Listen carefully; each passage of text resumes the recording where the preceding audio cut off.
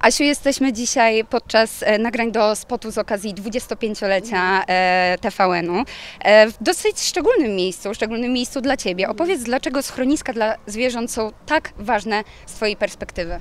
E, Znaczy są ważne, dlatego że te zwierzęta nie mają głosu, e, są e, samotne, niektóre latami siedzą w schroniskach, w boksach, nie mają miłości, nie mają no, ludzi, wiesz, właściciele, tak jak Lery, starszy już piesek, ślepy, ro- rodzina go oddała i wiesz, serce pęka i ja właśnie próbuję jak mogę, żeby, żeby właśnie nachęcać ludzi do adopcji, bo ludzie, o chcę takiego sobie Yorkiego, czy takiego pieska i, i nie rozumieją, że tyle jest niesamowitych piesków e, w schronisku, że te, to są przyjaciele na całe życie. Nie ma wie, większej miłości niż właśnie z, zwierzątko ze schroniska, bo oni to czują, że uratowałaś mu życie. No właśnie, Ty pomagasz zwierzakom, nie tylko psiakom, od lat. No widziałaś bardzo dużo ciężkich przypadków. Czy nie miałaś takiego momentu, w którym powiedziałaś, widziałam za dużo, dosyć? Czy po prostu uważasz, że to jest taka walka, która nigdy nie powinna się kończyć?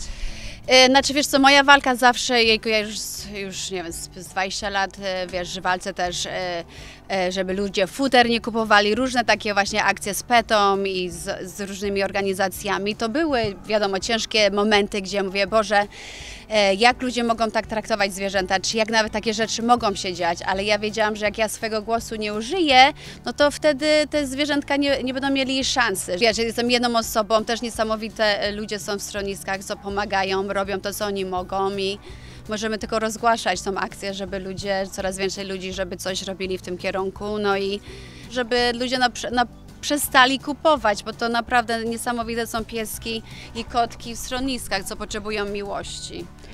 No. A, tak, baby.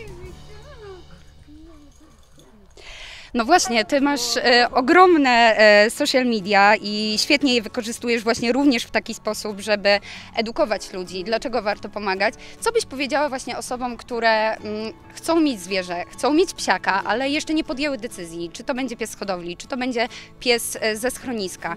E, Znaczy ja myślę, że to jest indywidu- indywidualna e, decyzja, ale dla mnie z, często co ludzie właśnie z hodlowi muszą wziąć pieska, bo o jest taki trend, bo jest taki, taki mieszany i taki jest cool, taki mi się zmieści do torebki i wiesz, takie mają podejście dziwne, a nie patrzą e, od serca i bym strasznie chciała, żeby ludzie inaczej właśnie patrzyli, żeby przyszli chociaż do schroniska, bo ja też myślę, że dużo ludzi, co nie chodzi do schroniska, nie rozumieją, jakie są piękne, super pie, e, pieski, małe, duże, średnie. Są też fundacje, co nie musisz do schroniska iść, tylko wiesz, na stronę idziesz, zobaczysz te różne pieski i można się spotkać z tą fundacją i że nie musisz wchodzić do schroniska i mieć depresję, ale możesz iść na spacerku się e, za- umówić z kimś z fundacji i poznać tego pieska. Też e, są różne opcje. Jak ktoś nie wie na 100%, czy może mieć te, tego, tego pieska czy kotka, bo nie ma czasu, ale te zwierzęta właśnie naj, też strasznie potrzebują, żeby właśnie ktoś przychodził do schroniska i brał ich na spacer. Też może być taki przyjaciel, co mieszka